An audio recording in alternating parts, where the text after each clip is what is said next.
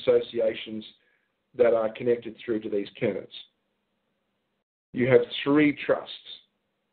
So when you talk about the trustee oath, I believe that in future it should be probably upgraded to mention executor so we're clear that that is the first and foremost thing that we stand as.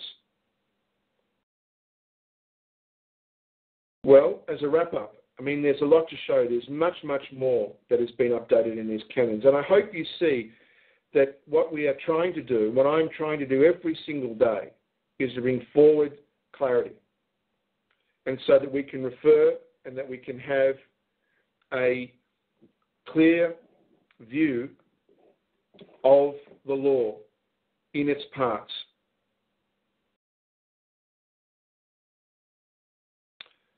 I think we need to, uh, and I hope you can, go through these uh, notes, these uh, canons, these articles.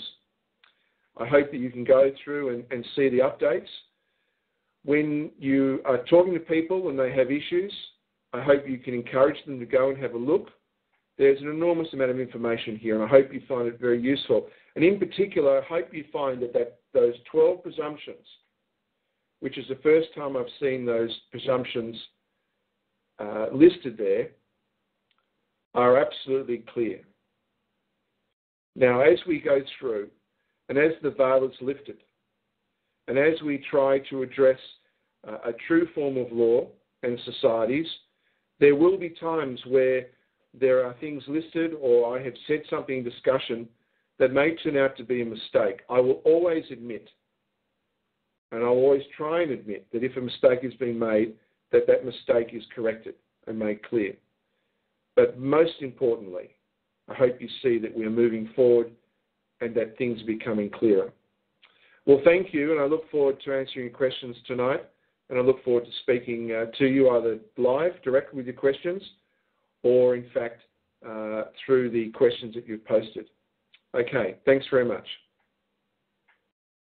Wonderful, Frank. Thank you very much. Uh, all right, just as a reminder for those of you on the phone line, if you will press star eight, it will put you in the question and answer queue.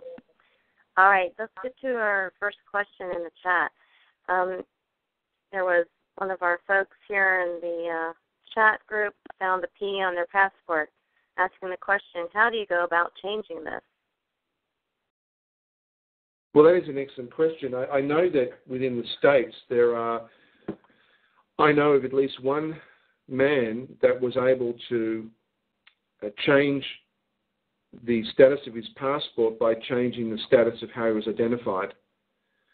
And he identified himself as a non resident alien and was able to change the status of his passport away from P uh, to uh, effectively a, a, a diplomatic passport. So it is possible to do.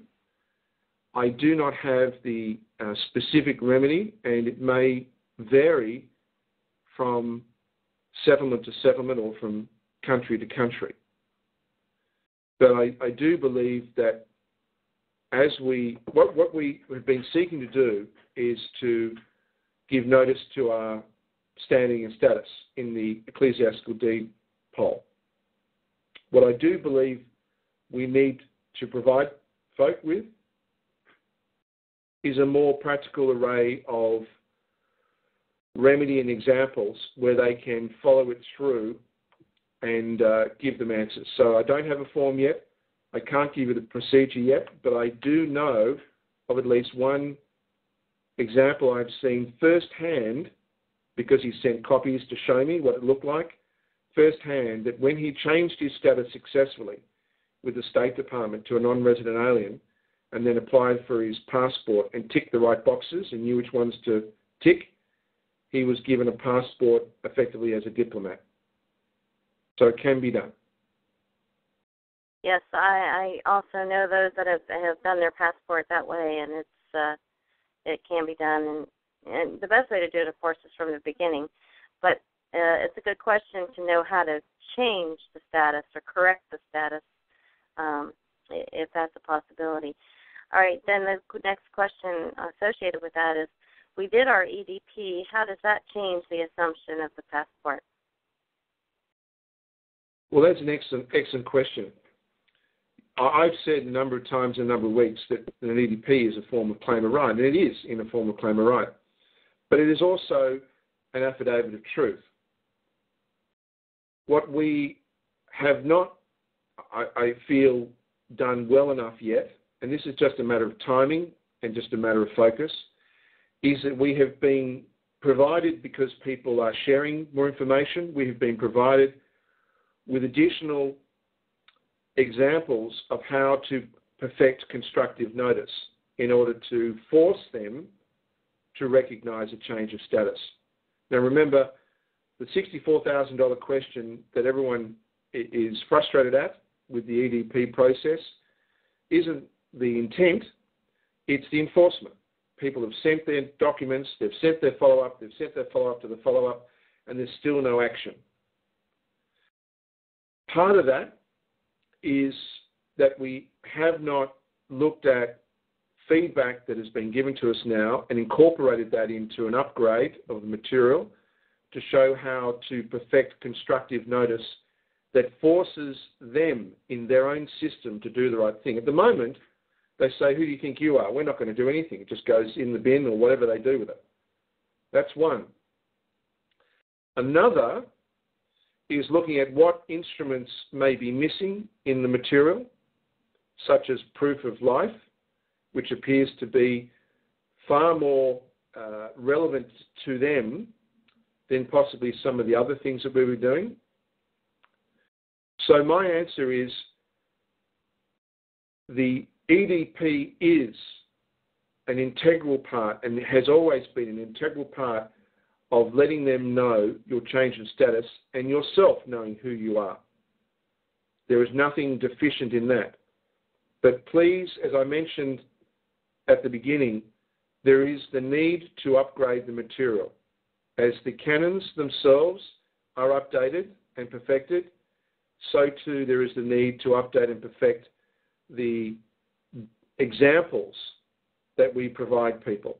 And that is going to take the next few weeks, and it will be also part of the movement of that material to those other sites.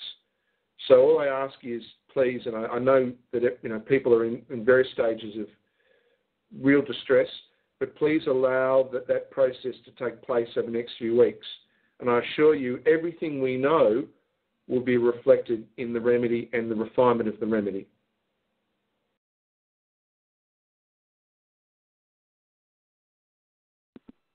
Okay, very good, Frank. Um, based on our educational, your educational information you shared tonight, and some uh, additions to the canon, um, the next question is: Why are members of One Heaven trustees and not executors?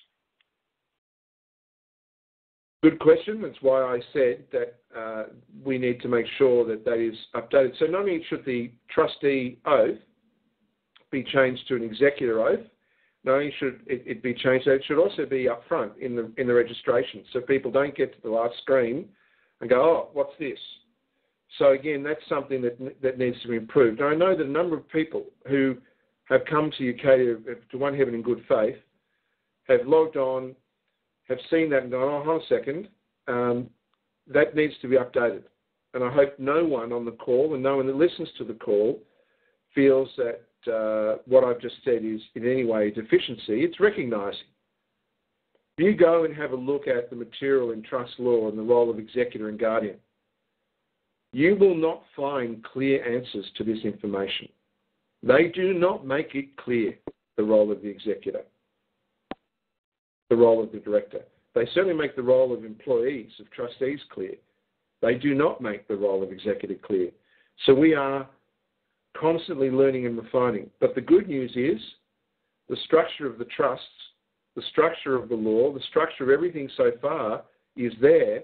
We just have to make sure that we reflect clearly uh, the right intent, the intent that is listed in the first pages of, uh, of uh, Genesis, the intent of us being the heirs and beneficiaries of the divine creator, having dominion, so that we can uh, be clear on who we are, what we are. So yes, it needs to be updated.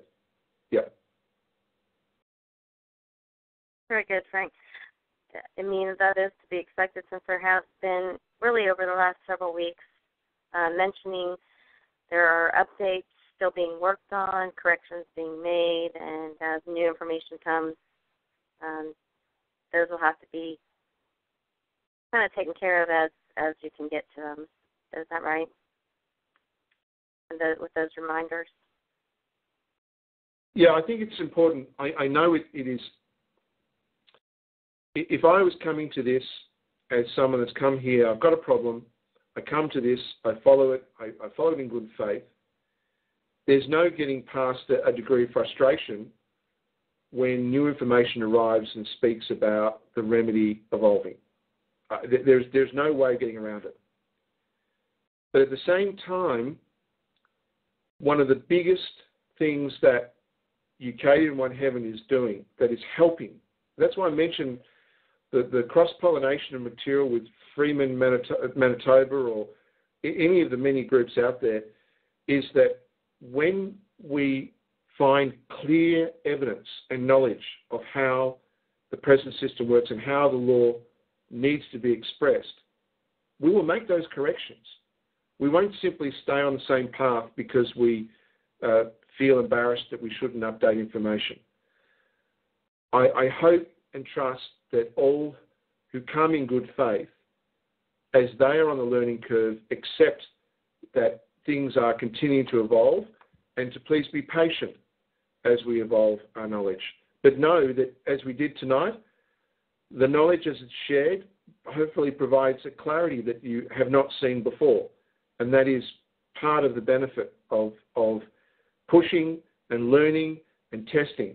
In fact, uh, in a moment, I'll, I'll, I'll uh, share a, an opening line that came from uh, Yoz Matt, who uh, I talk to on a regular basis and we were talking about what this new information does in how one might respond in court. So I'll, I'll read this out at the end just as an example of how one might respond, just to show how our language is changing as we know more about who and what we are. But uh, we'll keep going on the questions first. Yep. Okay. Yes, very good, Frank. We have Ron on the line. Here, let's get to Ron. No, Ron. Hi, Terry. Hi, Frank. How you doing? Good. Good. hey, I just want to let everybody know that today I I updated the 709 package. All I, I changed some wording in um, all the documents. Um, what I what I had said before was compensation for labor, but that's that's partially true. The true the true word is exchange of labor for compensation. Now they can't get you in that uh, income uh, thing that they like to do, the circular 22 reasoning. So all I did was update those words in all the documents, and it's uh, Rev 4 on at U of U under the the 709 package. Anyways, I I wanted to give everybody a, a, a mini update what's going on with me with the IRS issue, not the criminal, but the IRS thing.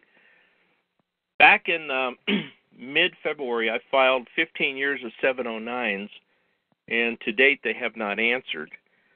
Three weeks ago, I sent a I sent a letter to the person that I had sent the 709s to, asking for, well, actually demanding, where why haven't you processed these uh, these returns?